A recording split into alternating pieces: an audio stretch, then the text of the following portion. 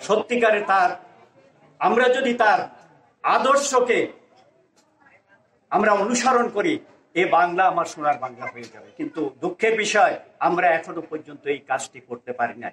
আজকে আমি বুকে বেশ ধারণ করেছি। এখানে বড় বড় কথা বলে যাব। আমার অন্তরে কি আছে? আমার অন্তর জানে। আমরা অন্তর দিয়ে কতটা কাজ করি, এটা আমাদের বুঝতে হবে। আমরা সত্যিকারে কি বঙ্গবন্ধুকে ভালোবেসেছি? বঙ্গবন্ধুর আদর্শ প্রতিষ্ঠা করার জন্য আমরা কি করেছি? আজ এত বছর পর সে জাতির কাছে প্রশ্ন আমাদের করতে হচ্ছে।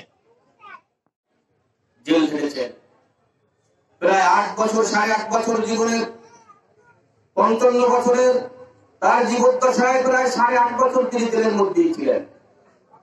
এমন এক ব্যক্তি যিনি নিজের সমস্ত সুখ, বিলাসিতা, সমস্ত আরাম, আয়োজন সব বিসর্জন দিয়ে বাংলার জনগণের জন্য, বাংলার মানুষের ভাগ এবং অধিকার আদায়ের জন্য সারা জীবন তার সময়টুকু দিয়েছিলেন জীবনের আর সাড়ে আট বছর দিয়েছিলেন জেলে বাকি সময়